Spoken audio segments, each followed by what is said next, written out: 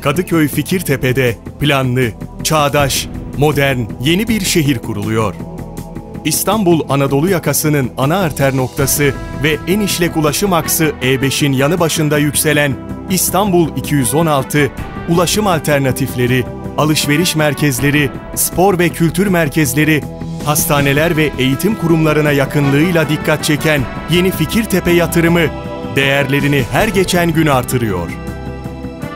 İstanbul 216, Kadıköy şehir hatları, vapur iskeleleri, İdo iskelesine 6 kilometre, Harem Feribot iskelesine 6 kilometre, Kalamış Marina'ya 4,5 kilometre uzaklıkta olmasıyla deniz yoluyla Marmaray, Boğaz Köprüsü ve hizmete girecek Avrasya Tüp Geçiş Projesi ile Avrupa yakasına kolay bir ulaşım imkanı sunuyor.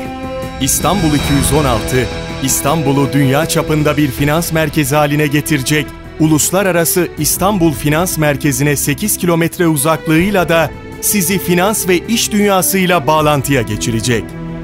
Çamlıca manzarasına hakim 1700 metrekarelik spor kulübünün içerisinde açık kapalı havuz, fitness, sauna, çocuk oyun alanları yer alıyor. Baysaç İnşaat, İstanbul 216'nın ikinci etabını da satışa çıkardı. İlk etabının %75'i satılan projede ikinci etap için %25'lik ön talep toplandı. 12.123 metrekare arsa alanı üzerine konumlandırılan projenin ikinci etabında 3 blokta toplamda 579 konut yer alıyor.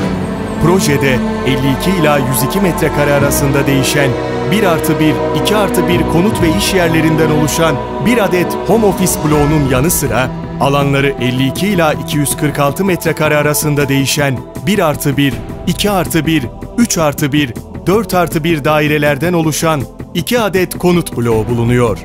İstanbul 216, İstanbul'un gözde merkezlerinden olarak gösterilen Fikirtepe'ye ikinci etabıyla da yeni bir soluk katacak.